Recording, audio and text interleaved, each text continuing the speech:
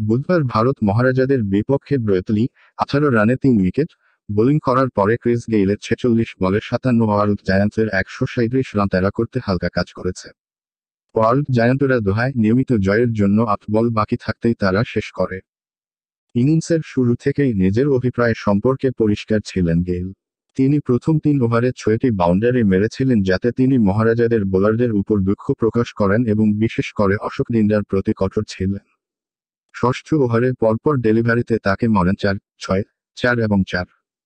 Sen Watson তার কুইফার ক্যামিওতে কিছু প্রিন্টেজ shot দিয়ে গতি যোগ করেন।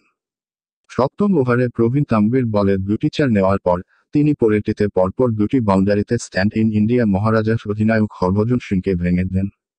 ওয়াটসনকে আউট করার জন্য একটি স্বপ্নের ডেলিভারি বোলিং করে যখন বল তাকে বাইরের প্রান্তে পরাজিত করে এবং জামিন বাতিল করে দেয়।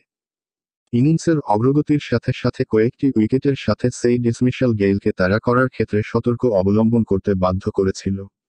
ছাব্বিশ বলে তার অর্ধশতক ছুঁয়েছেন, তিনি পরের বিশে মাত্র সাতটি করতে পেরেছিলেন। সুরেশ রায়না তার ইনিংসকে ছোট করেছিলেন, যিনি তাকে একটি লেন্থ বল দিয়ে অবাক করে দিয়েছিলেন যা খুব বেশি বাউন্স করেনি এবং তাকে ঠিক সামনে ফাঁদে ফেলেছিল। যদিও ওয়ার্ল্ড জায়ান্টরা সেই আউটের পরেও উইকেট হারাতে থাকে সমিত প্যাটেল এবং মরণে ভ্যানউইকের ক্যামিল তাদের লাইন ধরে নিয়ে যায়। এর আগে, তাদের নিয়মিত অধিনায়ক এবং ফর্মে থাকা ওপেনার গৌতম গম্ভীরের অনুপস্থিতিতে ভারত মহারাজারা শক্তিশালী শুরুর জন্য মুড়িয়া ছিল। রবিন মুথাপ্পা মঙ্গলবার দুর্দান্ত এক ফিফটি করে আসছেন। বিরুদ্ধে নিয়ন্ত্রণ তাকার নাতার দ্বিতীয় ডেলিভারি। দুই বল পরে সমিত তাকে একটি আর্ম বল দিয়ে আউট করেন, ব্যাটারটি মিড উইকেট অ্যারন ফিঞ্চের কাছে ভুলাঘাত করে। রায়না অষ্টম ওভারে মুন্টি পানেসারকে দুটি ব্যাক টু ব্যাক ছক্কা মেরে রানের হার বাড়ানোর চেষ্টা করেছিলেন। প্রথমে, তিনি একটি back of a length delivery তুলে নিয়ে ডিপ মিড উইকেটের উপর দিয়ে টেনে নিয়ে যান এবং তারপর বোলারের মাথায় পরেরটি চূর্ণ করার জন্য বেরিয়ে আসেন।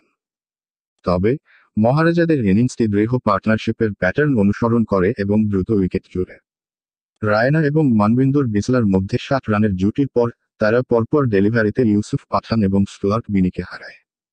ইরফান পাঠানের বিশ বলে পঁচিশ রানের ক্যামিল তাদের কিছুক্ষণের জন্য বহন করে কিন্তু উনিশতম ওভারে লির দুটি উইকেট তাদের সব পার টোটালে সীমাবদ্ধ করে।